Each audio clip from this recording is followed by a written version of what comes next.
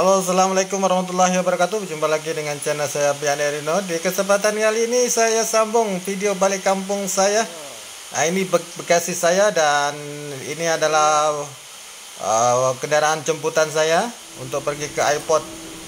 Dan saya sekarang sudah berada di airport Senai ya Senai International Airport Yang um, penerbangan menuju ke Surabaya guys dan ini pagi-pagi ya penerbangan saya pukul uh, 9.45 minit pagi.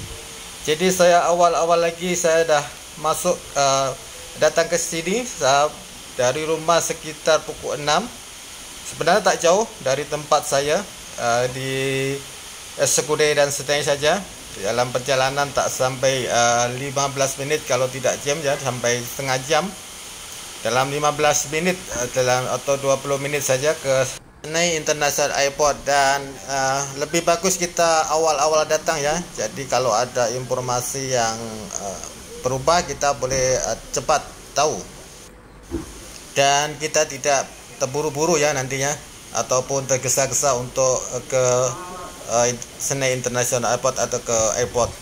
Okey, uh, sekarang saya sudah masuk di bangunan uh, Senai International Airport dan kita akan terus saja ke mesin ya ke mesin imbas QR atau mesin boarding pass ya. Jadi untuk teman-teman yang mau balik kampung ya siapkan dokumen uh, selengkap-lengkapnya dan nanti dari video selanjutnya saya akan review atau sharing ya syarat-syarat dan juga apa yang harus kita penuhi di dalam perjalanan dari Senai ke Surabaya ini sampai uh, ke akhir di tujuan kita di Surabaya. Jadi insya Allah saya akan coba sharing pengalaman saya uh, pulang kampung ini. Apa syarat-syarat yang harus kita penuhi atau yang kita buat sebelum penerbangan dan di Senai internet uh, di Juanda ya. Oke kita sudah masuk di mesin ya mesin imbas ini. Uh, kita bila kita dah dapat uh, cek uh, maksud saya dah check in kita dah dapat uh, QR atau kod hmm, kod bar kita tinggal scan di mesin ini ya untuk kita tinggal scan di mesin ini untuk mendapatkan atau mengambil uh, pelekat bagasi ya. uh, kita saya dah booking uh, 5 bag bagasi di mesin ini di dalam boarding pass. Jadi kita tinggal scan dia punya QR code dan kertas bekasi itu akan keluar di mesin ini.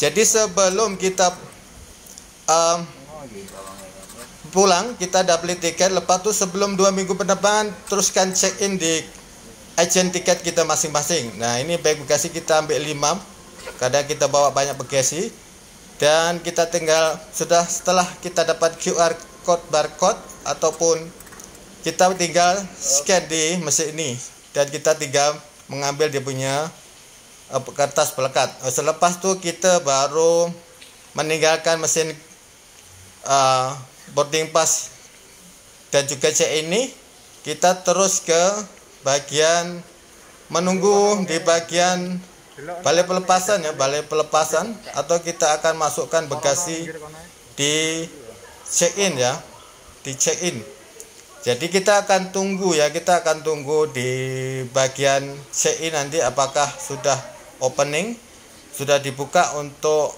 kita in di penerbangan um, internasional dari Johor Baru ke Surabaya. Jadi kalau belum open kita tak perlu uh, kita perlu masuk dulu, tapi kalau sudah open kita boleh terus masuk ke check in. Nah ini yang saya tempati adalah ini yang saya masuk adalah mesin pass dan juga check in di sini ya.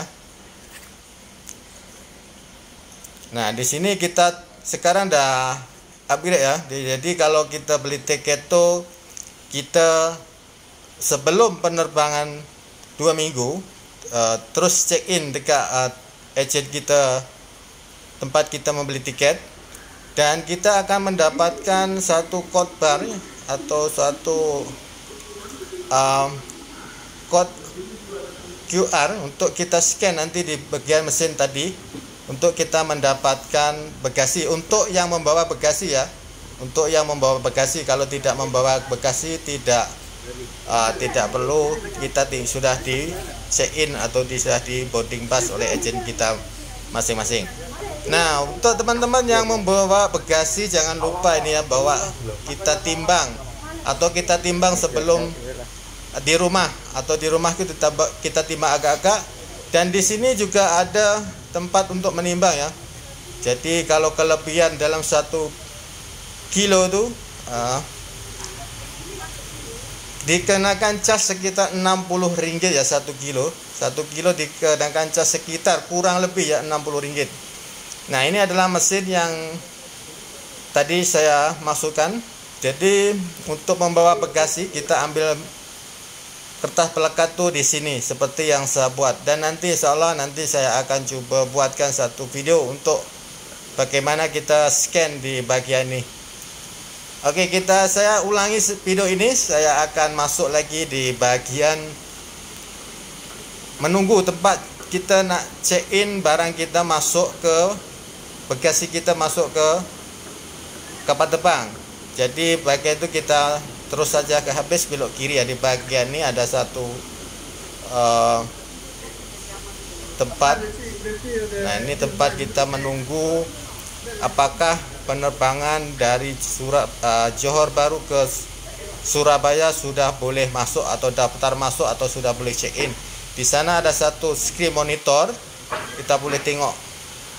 Nah ini saya sudah masuk ke check in saya nak masukkan saya punya barang bagasi di bahagia dia nah, daftar masuk nih sebab saya ada bawa banyak bagasi atau banyak barang sekitar 5, 5 bag jadi saya harus masukkan. Dan setelah kita siap masuk kita keluar di bagian ini. Kita tinggal membawa barang yang kita pegang atau yang kita jijing di untuk dibawa ke kapal terbang saja. Jadi yang uh, bagasi kita sudah habis masukkan di check in daftar masuk tadi dan kita tinggal masuk di balai pelepasan ini. Nah, sekarang saya sudah melepasi balai pelepasan dan sudah berada di ruang tunggu. Nah, ini di ruang tunggu untuk menunggu kedatangan kapal terbang dan untuk kita naik ke kapal terbang di kawasan ruang tunggu dan di sini uh, selepas ya selepas kita cop paspor kita.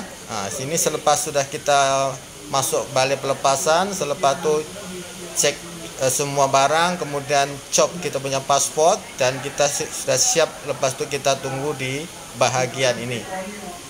Dan kita kalau kita sudah di bagian ini uh, keadaan sudah menjadi rileks dan tenang karena urusan hampir 80% selesai di kawasan uh, Senai International Airport ini. Tinggal menunggu kita masuk ke dalam pesawat.